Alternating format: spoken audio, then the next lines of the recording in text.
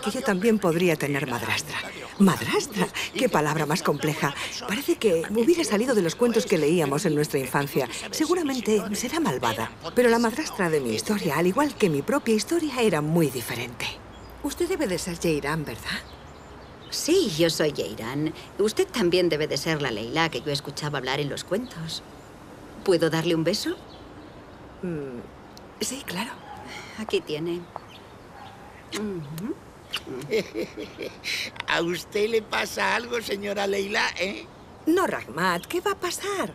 Parece que todos estáis acostumbrados a que no vaya a ningún lado y que nadie venga a verme. Y Jeiran es una de mis amigas. Sí, yo también intenté explicárselo, pero ya sabes, él habla tan deprisa que no me ha dejado contárselo. Sí, ya lo sé. que- Perdona por la pérdida de tiempo. Yo, con su permiso, me imaginé cómo venía. ¿eh? En mi opinión, todo puede ser con un buen fin. Eso depende de cómo usted lo vea. Sí, hay que ver cómo se mira. ¿Usted era su profesora en qué? En literatura. Ah, literatura fotográfica. Con su permiso. Yo de verdad al final no me he enterado de nada. Eh, eh, los pasteles. Te lo juro por tu sarife que no estoy exagerando, ¿eh? Esto es todo lo que pasó. En cuanto fui a pisar el primer escalón del autobús con el pie, con el pie derecho, de repente escuché una voz. Me estaba llamando a mí, con mi nombre de pila. Además, su voz tenía eco, como los de Narabad, que cuando gritan en las montañas se vuelven a escuchar. Pues así me estaba llamando. Decía, Pari, oye.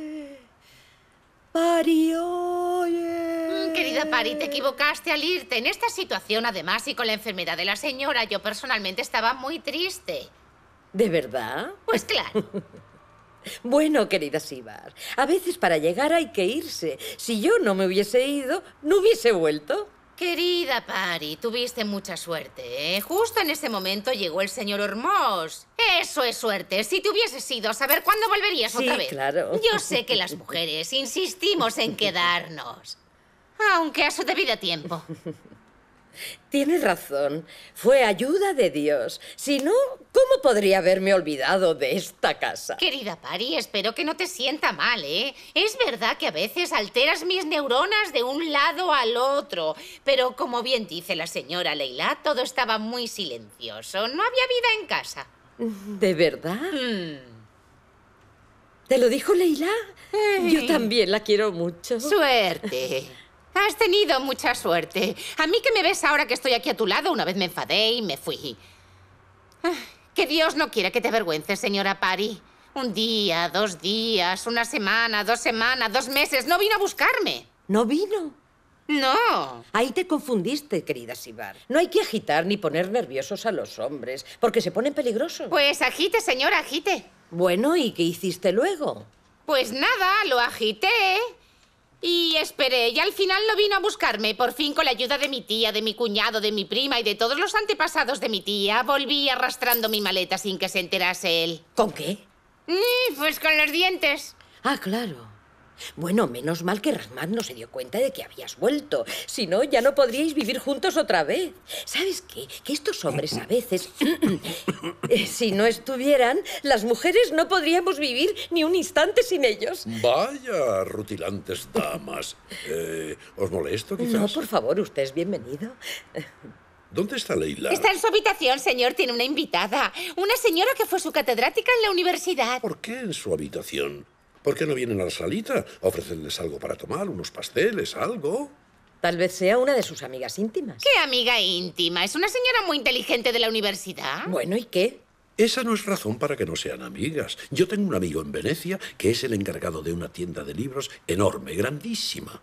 Mm, sí, sí. Bueno, mientras ustedes toman un té, yo voy a llevarles estas frutas para que tomen algo en la habitación. La señora Leila, cuando empieza a hablar, ya no para. El chico este, el ingeniero Mogarnesí, habló tanto que si no fuese porque les llevé las frutas, se había vuelto Vale, loco el Sibar. pobre. Tiene ¿Puedes razón. Es que Leila a veces habla mucho. Vete, querida Sibar. Permiso. Sí, vete. Con permiso. ¿Le pongo un té, querido Hormos? Muchas gracias, Parí. Usted es una persona con muchas cualidades y por esa razón los que elige como sus amigos tienen que ser grandes personas. ¿A qué se dedicaba su amigo? Es profesor de filosofía y ahora en Venecia está llevando una tienda de libros muy grande. Vaya, vaya, vaya. Sus amigos son todos imprevisibles, querido Hermos.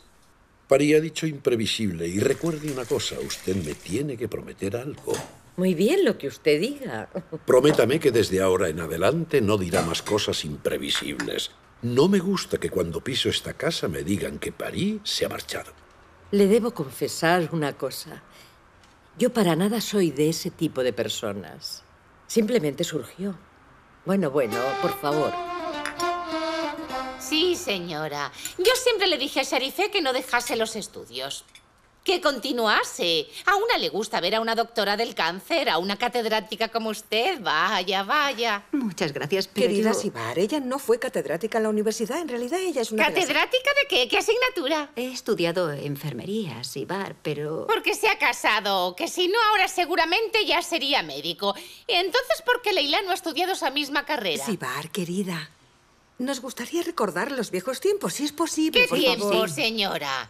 Sus viejos tiempos no creo que sean los mismos tiempos que la señora. Si no me equivoco, creo que por lo menos usted debe tener unos años más que ella, ¿no?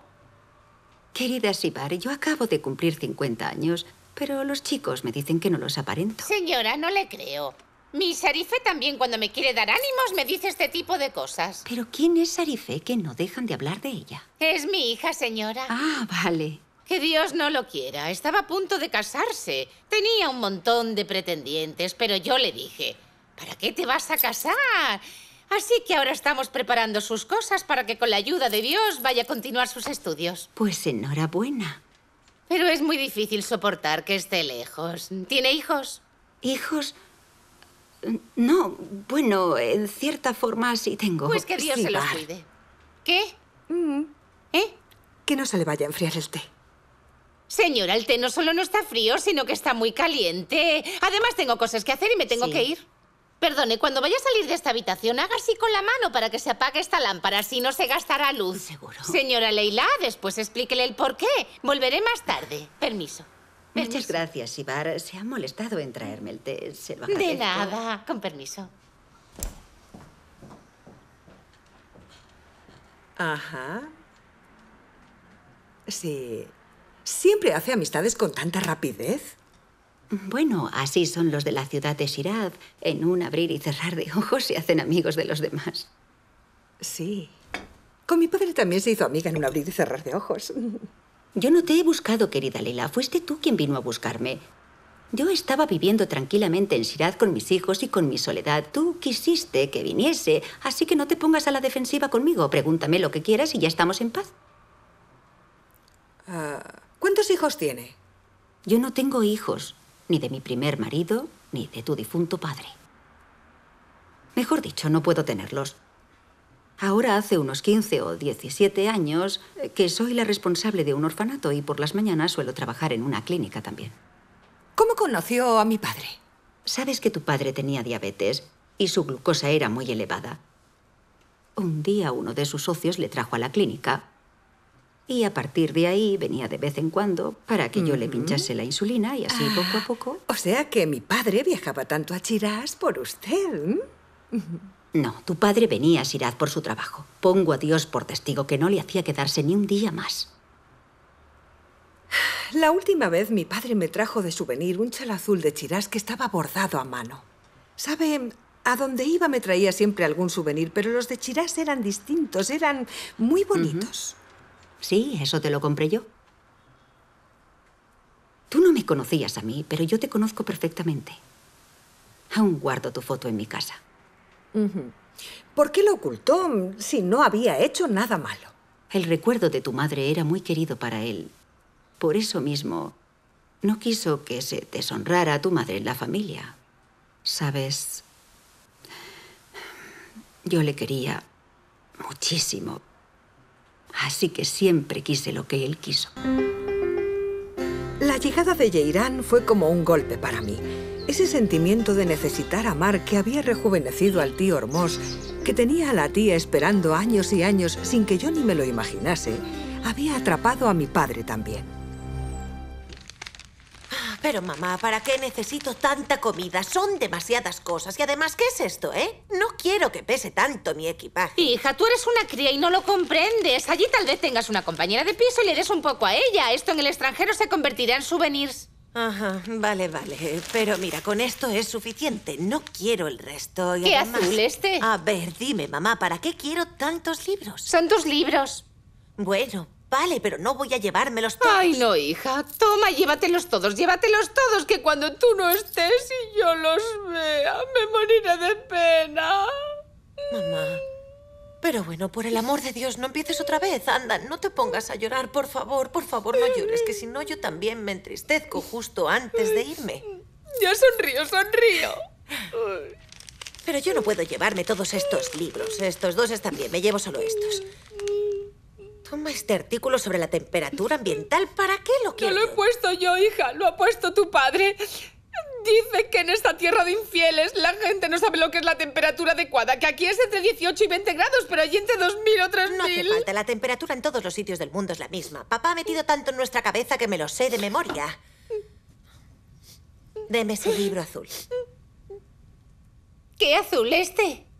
Sí. ¿Este de interpretación de sueños? Sí, he ¿Para visto qué? un sueño gracioso y quiero ver qué significa. Ay, primero cuéntalo, Sharife, por si es malo que no se cumpla. No es malo, era tan gracioso que seguramente tiene buen significado. Pues Deme. cuéntamelo, yo te digo el significado, yo me sé de memoria este libro. He soñado que había un montón de pares de zapatos.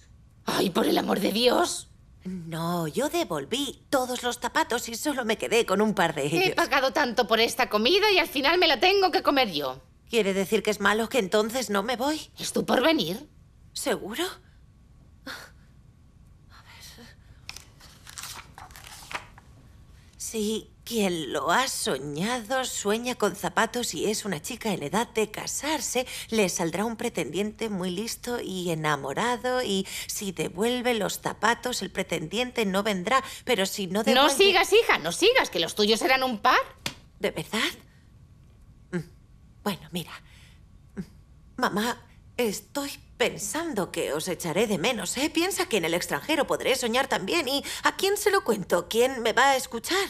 Después tengo que pagar un montón de dinero para llamaros y contároslo si la línea está libre, claro. Además, puede que no estéis en casa en ese momento. También puede que no tenga nada que contaros o tal vez sí. Querida Sharife, hija, si no quieres irte, no te preocupes por nosotros. Como bien dice París, si uno no tiene buen presentimiento, es mejor que no se vaya, ya está. Que no, solo bromeaba, como los actores de las películas, para salir de este ambiente. Yo, aunque sueñe, se lo contaré a alguien para que no se cumpla. De todas formas, yo ya te he avisado, tú ya eres una chica mayor y lista. Mm, vaya, vaya, vaya. Menudo dulce. Olor y sabor de Sirás, la ciudad del amor. No es como los de esta tienda que ni huele ni sabe a nada ni tiene color. Come, querida Samsi. Sí, está muy bueno. Bueno, es porque aquí no ponen suficiente azafrán. Los dulces solo los hacen en Shiraz. Que los disfruten. Yeirán, ¿es verdad que dicen que en Sirás se toman el dulce con limonada?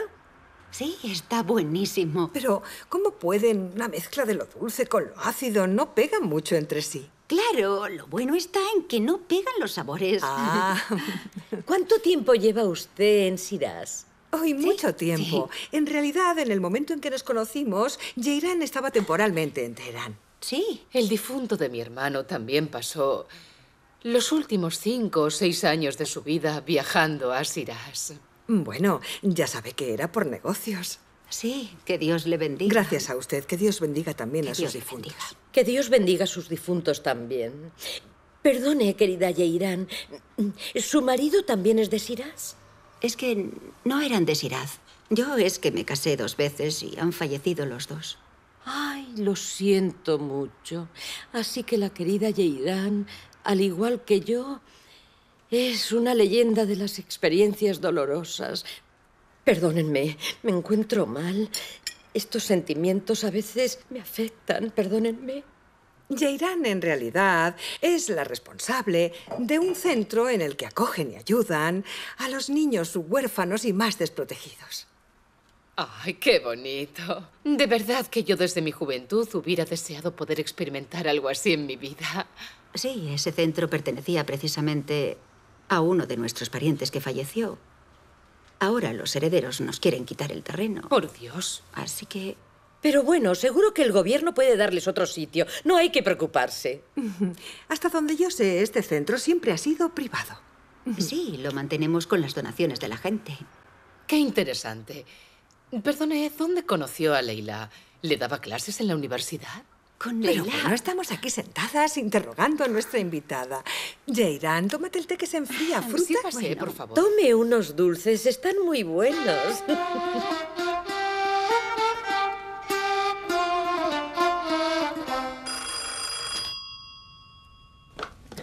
¿Sí?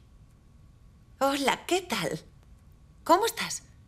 Sí, ya estoy recogiendo poco a poco para irme. ¿Sí, para qué?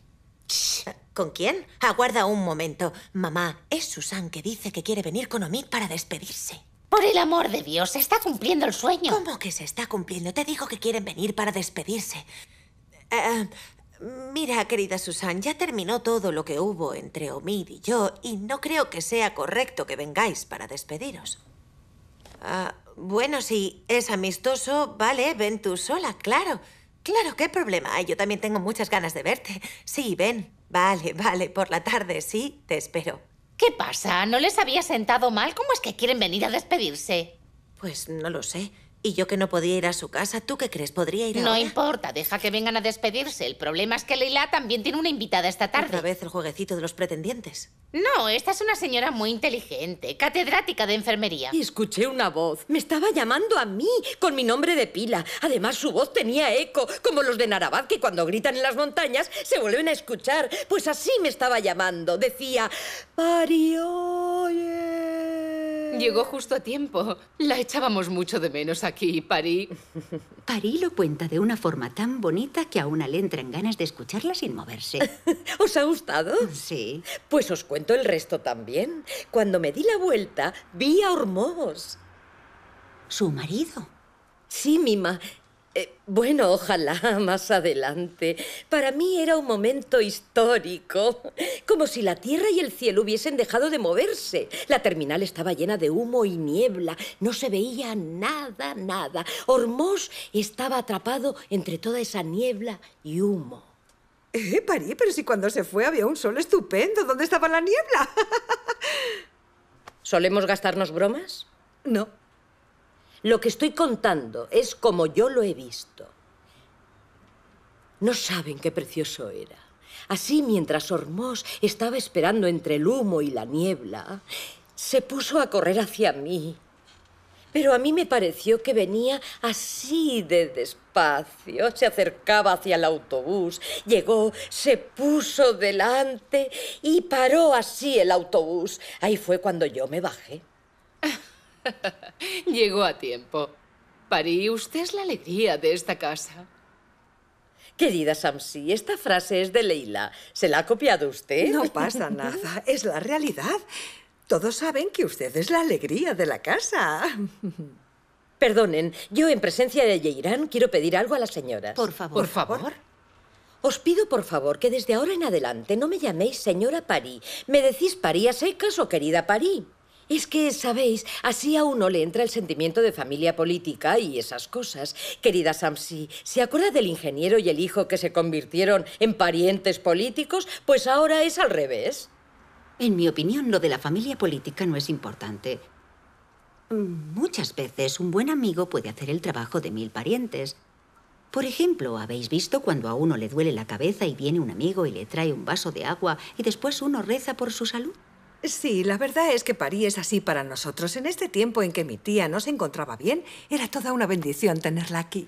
¿Sansol Samán estaba enferma? ¿Otra vez Sansol Samán? Sí, sabéis, es que yo le he escrito tanto a Yeirán y le he contado tantas cosas Sí, que os con conoce perfectamente a todas. Sí. ¿Por qué no toma fruta, querida Yeirán? Sí, Por ahora. favor, sírvase. ¿Por qué eres tan egoísta, Sakur? ¿Por qué quieres que mi mamá se quede sola hasta el final de su vida, eh? ¿Yo quiero que mamá París se quede sola? Sí, ¿Cuándo he dicho yo algo así? muchas veces. Lo dijiste desde el primer momento eh, que te enteraste que se querían casar. Pusiste cara de enfado como si se fuera a terminar el mundo. ¿Qué son esos modales? Uno tiene que aceptar las realidades. ¿Yo he puesto cara de enfado? ¡Sí! ¿Cuándo he puesto yo cara de enfado? ¿Has sido tú la que ha dicho que no querías que tu madre se casara otra Yo vez? no he dicho semejante cosa. ¿Cuándo he dicho yo algo así? Yo jamás diría algo así. Me lo repetiste tantas veces que no me quedó más remedio que dar la cara para que tú no quedases en mal lugar. Me vi obligada a decir todas las cosas que pensabas, porque si no, yo nunca me hubiese atrevido Sí, a un poco decir algo justa, así. Dalia. Yo ni siquiera tengo mente para tener algo dentro y poder transmitírtelo a ti, querida. ¿Yo qué he dicho? Nada, no has dicho nada, porque siempre soy yo la que debo hablar en tu lugar. Debo decir a los demás todo lo que a ti se te ocurre. No mientas, eras tú la que no estaba de acuerdo. ¿Que yo no estaba de acuerdo? Si yo solo quería que mi mamá fuese feliz. ¿Qué me estás diciendo? Sakur, ¿sabes la diferencia que hay entre la verdad y la realidad? No, ¿cuál es la diferencia? Mira, cariño, la soledad es una verdad. No puedes huir de ella. ¿Te atreves a mirarle a los ojos a mi mamá o a los del tío Ormo dentro de 10 años? ¿No te avergonzarás de ser el responsable de su soledad? Yo soy el responsable de su soledad. ¿Para qué les tengo que mirar a los ojos en 10 años? ¿Por qué no dejas que se casen? Mira, nosotros al final iremos a vivir a nuestra casa y el día de mañana tendremos hijos y Leila también se irá a vivir a su casa. Eres tú el que no deja que esos dos tortolitos enamorados lleguen a vivir bajo el mismo techo. ¿Quién? ¿Yo? ¿Quieres decir que yo soy el responsable de que no sean felices esos dos tortolitos? Y si yo les pido disculpas, ¿esos dos tortolitos serán felices? Pues les pediré perdón. Ahora mismo voy y les pido disculpas. ¿Está bien? ¡Date prisa! Pues lo siento. Ah, no. ¡Date prisa! Es increíble, me pone de los nervios. Y encima no quiere aceptar su error.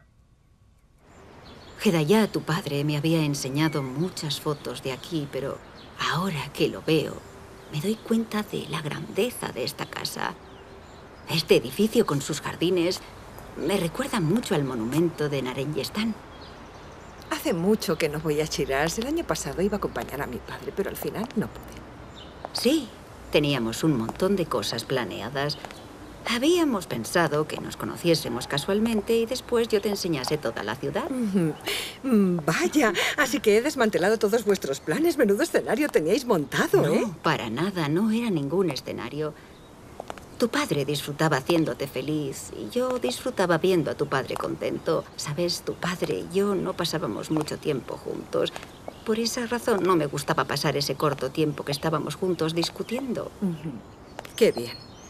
Qué afortunado era mi padre. Ojalá yo también encuentre a alguien parecido a él en la vida. Pero si aún eres muy joven, chica, aún tienes mucho tiempo para encontrar el amor de tu vida. Me gustaría hacerle una pregunta. Claro, sí, ¿por qué no? Pregúntame, por supuesto. Mm, bueno, ¿mi padre también estaba enamorado de usted? ¿Enamorado? No lo sé. Nosotros éramos más bien buenos amigos. Era muy amable conmigo. Es verdad que yo... eh, muchas veces me pregunto si las personas pueden enamorarse varias veces en la vida o no. Pero creo que el amor verdadero solo ocurre una vez en la vida. Y esa única vez, para mi padre, ¿cuándo fue? Si aceptamos que las personas solo se logran enamorar una vez en la vida, tu padre solo estuvo enamorado de tu madre. Lo sé porque hablaba mucho conmigo sobre ella. Mm, Qué extraño. ¿Hablaban mi padre y usted sobre mi madre? ¿De verdad que podía hablar con un hombre sobre su exmujer? Hola. Hola. Eh, Hola. ¿Qué Hola, está ¿cómo se encuentra? Gracias. Justo a tiempo. Perdonen que les molestemos. No, por favor. Perdone, Leila, Sharifé está dentro Creo de la que sí. Pasen, por favor. Pues Con su permiso. Pasen, pasen. ¿Para qué han venido estos? ¿Quiénes son, querida Leila? Un pretendiente. ¿De esos pretendientes que dijiste? No, este es el pretendiente de Sharifé, mi amiga. Pero me sorprende porque Sharifé mm, quería ir a estudiar al extranjero y ya lo tenía todo decidido. ¿Al extranjero? ¿Para estudiar o escaparte? ¿Escapar de qué? El amor. Como bien decía tu padre, no todos los caminos llevan a Roma. A veces llevan a la ciudad del amor del poeta Tar. Eh, por cierto, querida Leila, ¿cómo me encontraste? Mm, Qué bien que me lo ha recordado. Espera un momento, ahora vengo.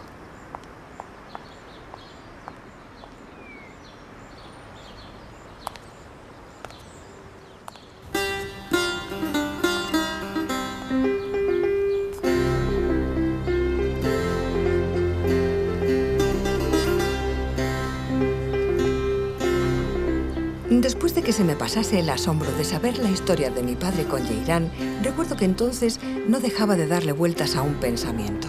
Creía que con mi niñez y persistencia había impedido a mi padre que tuviese una nueva vida. Y aunque me cueste reconocerlo, pienso que si hubiese dejado a mi padre vivir con Yeirán, ahora seguiría vivo. O tal vez no, no sé.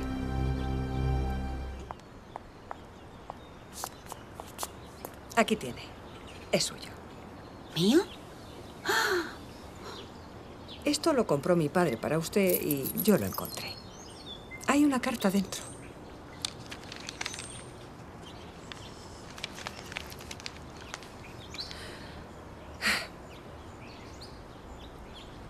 Su número lo tenía en su agenda y por eso la llamé. Sírvanse, por favor. Muchas gracias. De nada. ¿Por qué se ha molestado, señora Asibar? No vamos a robarles mucho tiempo, solo veníamos a despedirnos. Bueno, tampoco se puede despedir uno sin tomar nada. Sírvanse, por favor. Ah, bueno, eh, mamá, ¿puede traerme uno de esos paquetes de dulces que has puesto en la maleta para los chicos? ¿De la maleta? Sibar, desde luego, ha preparado esta maleta de tal manera que parece que mi hija Saricé no piensa volver del extranjero en mil años. Bueno, está en sus manos ir, pero su regreso está en manos de Dios. Allí se lían todos tanto con los estudios que se olvidan de su propio país. Ay, querida Susan, no hables así. No des energía negativa. Mi Sarife ha prometido estar con nosotros en Año Nuevo, ¿verdad? Ni que esté de diversión, Sibar. Allí también hay reglas. No es tan fácil que un estudiante pueda venir cuando se le antoje. Reglas que reglas, mujer. Uno no necesita permiso para venir a su propia casa. Serás siempre bienvenida aquí. Me refería a las leyes de allí. Se refería a las leyes de allí. Cada vez que quiere venir tenemos que mirar esas leyes antes. Vendrá, Oye, vendrá. Sibar, ¿por qué no vamos a dar una vuelta por el jardín y así recordamos a Narabat? A estos chicos les gustará hablar por última vez. Ay, Dios, no lo quiera, querido Rachmat. ¿Qué estás diciendo? Quiero decir que será la última vez que se van a ver Saricé y Omid. Pues- vámonos ya. Pues dilo así, hombre, me asustaste. No, si nosotros no tenemos nada que decirnos. Dijeron que solo venían para despedirse, ¿verdad, querida Susan? Susan me dijo que ya había tomado una decisión.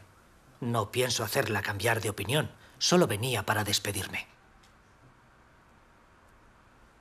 Querido Omid, yo desde el principio estaba en contra de esta boda y sigo estando en contra de esta boda. Pero aquí mismo te digo que cuentes lo que sientes porque esta chica se marchará y después se quedará toda una vida con ganas de saber lo que no le dijiste. Yo lo sé y te lo digo porque a mí mismo eso me ha pasado. Ah, Si nosotros no tenemos nada que contarnos, hubo algo entre nosotros, pero ya terminó. Yo fui una tonta al pensar que habría algo serio con este señor. La verdad, en realidad pensaba que su decisión sería seria para casarse. ¿Por qué has pensado que no lo es? Si era así, debería haber mostrado más valentía. Ahora ya es tarde para hablar de estas cosas. Yo ahora solo estoy pensando en mis estudios y en mi futuro. No quiero que crean que es egoísmo, pero la verdad es que he aprendido a no enamorarme tan fácilmente de alguien. ¿Lo ves? Estos quieren decirse lo que sienten. A esto me refería. Anda, levántate. No, quédense, por favor. Me gustaría que estuviesen presentes. Sharife, su padre tiene razón. Las personas a veces con su persistencia hacen cosas que lamentan el resto de su vida. Yo había venido para despedirme.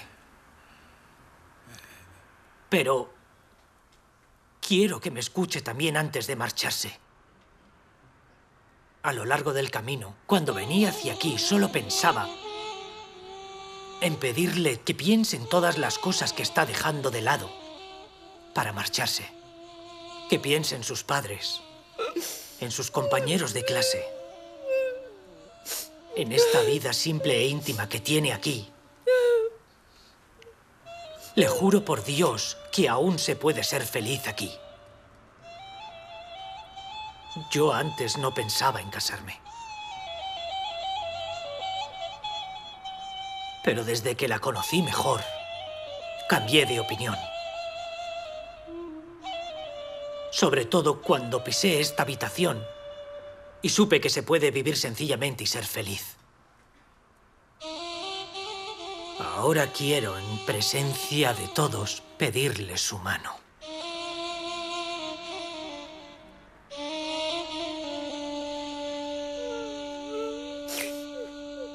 Que seáis muy felices.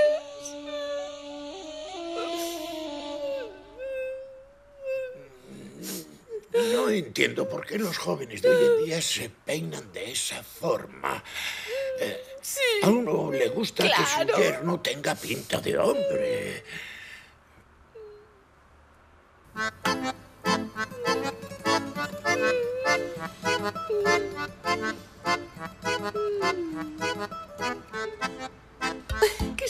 muy felices.